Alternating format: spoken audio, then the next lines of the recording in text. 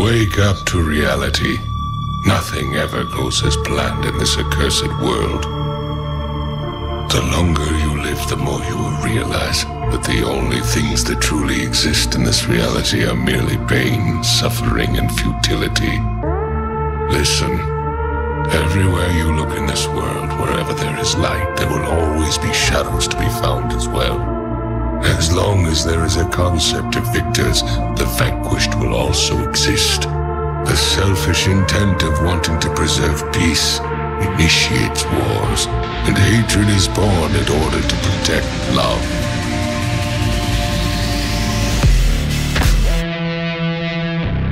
I want to sever the fate of this world,